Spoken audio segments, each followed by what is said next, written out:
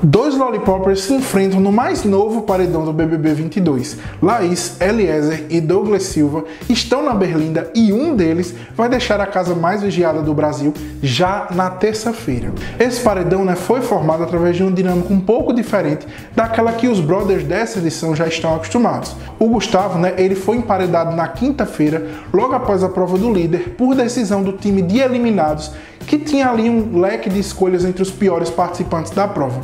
Ele foi o escolhido da maioria e acabou indo para na Berlinda, mas conseguiu se livrar na prova bate e volta. Já Laís né, foi indicada pelo líder Arthur Aguiar e, com direito a contragolpe, puxou Douglas Silva para o paredão.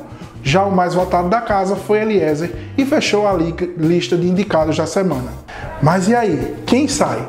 Bom, de acordo com o resultado parcial né, da enquete realizada pelo portal UOL, a mais votada para ser eliminada do programa é Laís, com 79,57% dos votos. O segundo mais votado né, é Douglas Silva, com 11%, seguido de Eliezer, que tem apenas 8% dos votos do público.